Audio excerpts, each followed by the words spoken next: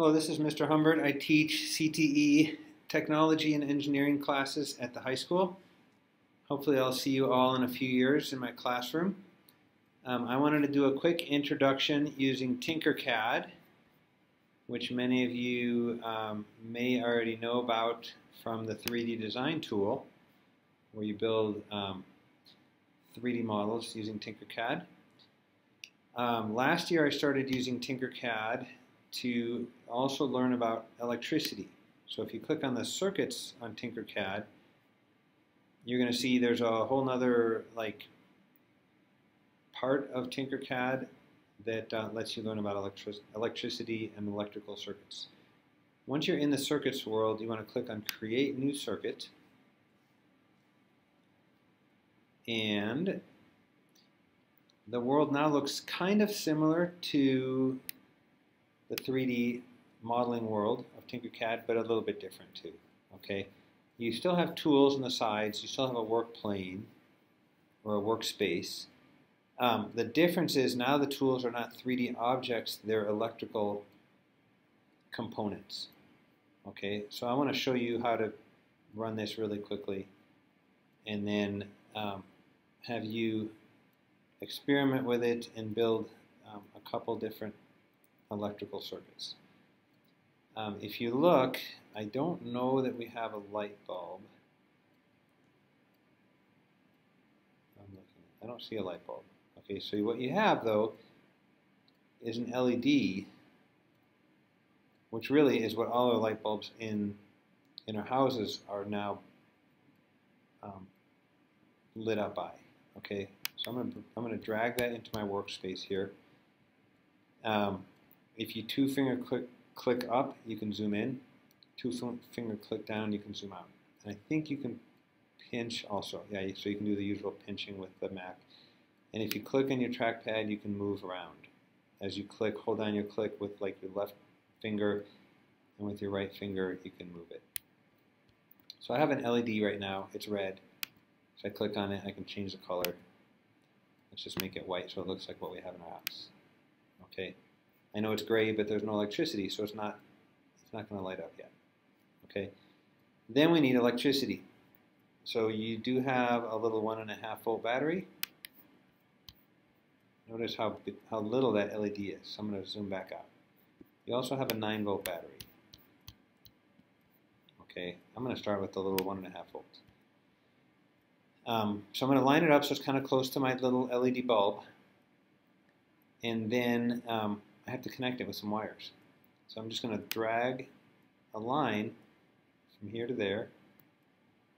If you click, you can kind of get curvy lines. Okay, and I'm going to go click, click, click, click, there. Um, you should know on electricity, the red side is the positive side or the plus side. The black side is the negative side or the minus side. Okay, If you don't connect both sides, the electricity can't flow in a circle, and we call that a circuit, and nothing will happen. So I've connected it up to my bulb, but I haven't started my simulation yet. So if I click on the Start Simulation button, it looks like it lit up.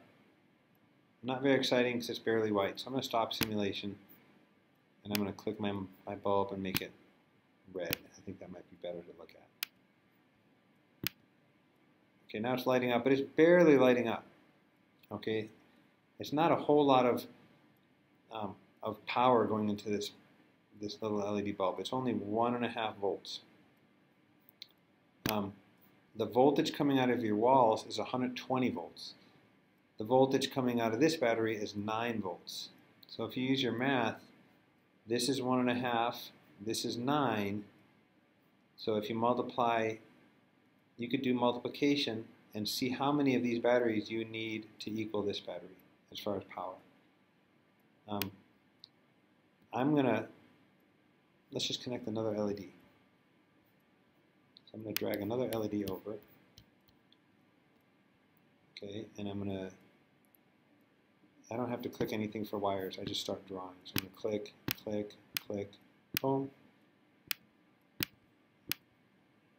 Um, Notice this wire is green.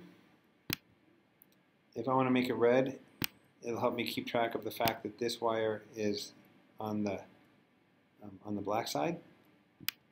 Okay, this wire is this wire is on the red side, so I'm going to make this one a green wire. I mean a red wire. No, a black wire. Okay, now it's a little easier to follow. Um, let's try this. Try powering it up. Okay, this one barely lit up. You can see it's barely lit up. Notice this is a short leg. This is a long leg. Did I do it the same way over here? I didn't. Because if you look, the short leg is connected to the black side, the negative side. The long leg is connected to the red side, the positive side. Over here, the short leg is connected to the red side. Here, the short leg is connected to the black side. So I'm going to experiment, and I'm going to say maybe that's the problem. I'm going to delete that. I don't know that you can just, oh, I guess you can move it. So I'm going to do that, and to keep it straight in my mind, I'm going to click this, and I'm going to change it to be black. Okay, that way I know that the short leg is going to the black side, just like this. And I'm going to do another wire, and I don't want to cross the wires because that's always a bad idea. If you cross wires, sometimes they can touch each other and they can make a spark and they can cause your your uh, idea to not work to like it's called short-circuited it just won't fire okay the red wire goes to the red side the positive side black wire let's just test it I have a good feeling about this oh okay this lights up but barely this lights up but it says if I hover on it the current is 915, but the maximum allowed, or no, it's 91.5. The maximum allowed is 20. So this is way too much voltage, and it'll burn out this light bulb. Okay, so this is not a good idea. In real life, your light bulb would burn out after a second or two. Okay. Now I could take another battery, one of these, and I could say, well, maybe if I need more, I'll just connect two of them together. Okay. Um, I'm going to click, let's see, let's take this wire and we'll move it. And I'm going to connect red to black. And just make it look pretty so it doesn't make me crazy. Since this is green, let's go ahead and make that one black so it makes sense. I'm going to make this one red and I'm going to do another red wire from here back to the bulb.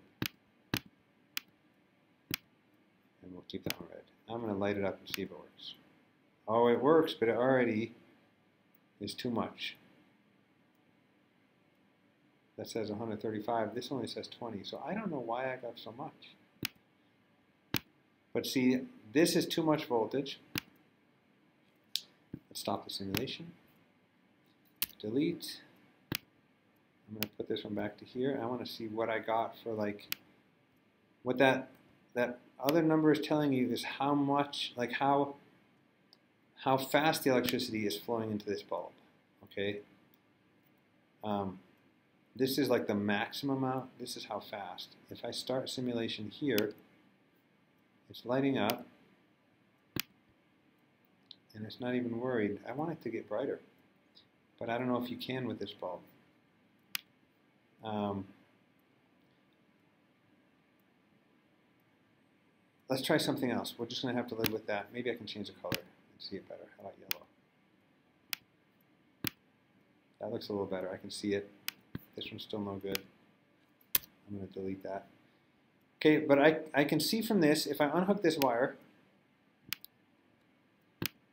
oh, it didn't want to stay where I told it to. I'm just going to delete the wire. This should not light up because the electricity needs to go all the way through in a circle, in a circuit. And you can see nothing's happening. Okay, so I want you to check that out. If you connect it, doesn't matter what color wires you use. Okay, it's just easier to follow. It does work. Maybe try putting another LED on there. Okay, and see if you can connect two LEDs to one battery. I'm going to delete that battery away. Okay, so you could try connecting two different LEDs to one battery, either battery. I can also tell you that this little component called a resistor will slow down the electri electricity flowing into the LED. So this might help you over here um, with um, not having too much electricity going through this and making it burn out. If you put this into your circuit, okay, but I don't want to tell you any more than that. I'm going to let you experiment and hope that your teacher can help you if you have any questions. Okay? Um, I'm just going to see, I want to do one quick button. No, I wanted to show you, oh, this is the rotate tool. So let me just show you, if you wanted to make this turn, so it could like fit better above the battery here, you can just click it and turn it that way. And then you can move it, and then you could connect it like that. So that might help you in some cases if you need to rotate a part. Okay, That's all I'm going to show you. Have fun. Over and out.